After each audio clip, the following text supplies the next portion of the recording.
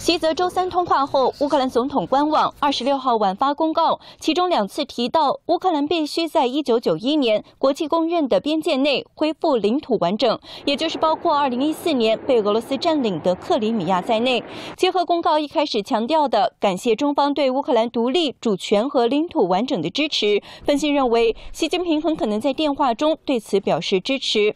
如果习近平同意，甚至是支持乌克兰收回克里米亚。那就意味着习近平不同意，甚至是反对俄罗斯侵占克里米亚，意味着习近平认为俄罗斯的行为是侵略，支持乌克兰解放克里米亚。乌克兰公告中还表示，所有国家不在战争中支持俄罗斯非常重要，其中包括军事技术合作和武器供应等等。对俄罗斯的任何支持都会被转化为侵略的继续。分析认为，这里显然是指中共对俄罗斯的军事援助问题，而这也很可能得到了习近平的承诺。因为根据之前的媒体报道，美国方面已经得到了确切的情报，中共准备军事援助俄罗斯大规模的杀伤性武器。而现在，习近平对泽连斯基承诺不会军事援助俄罗斯，可能会迫使习近平之前对俄罗斯的那个承诺要落空。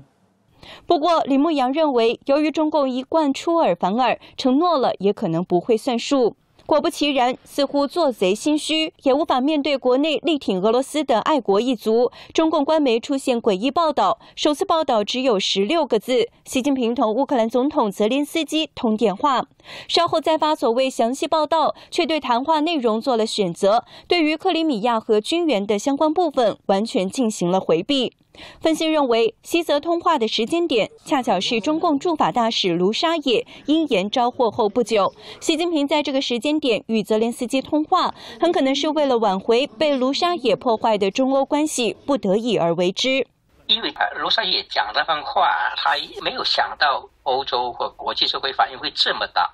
因为大家都要把他驱逐出境，相当于把整个中欧关系彻底崩盘的这个危险，所以他现在习近平出来讲话，很明显就是为了跟欧洲的关系来挽救跟欧洲关系彻底崩盘，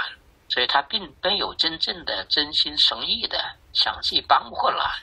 习近平其实迄今啊不愿意承认俄罗斯是侵略者啊，不催促俄罗斯撤军啊，甚至不称此次的俄乌战争为战争啊。那他始终支持俄罗斯的立场啊，不言可喻。那中共只是一个包藏祸心的假和平使者啊，这这个事实已经昭然若揭哦。新台电视台记者韩飞，特约记者洛亚采访报道。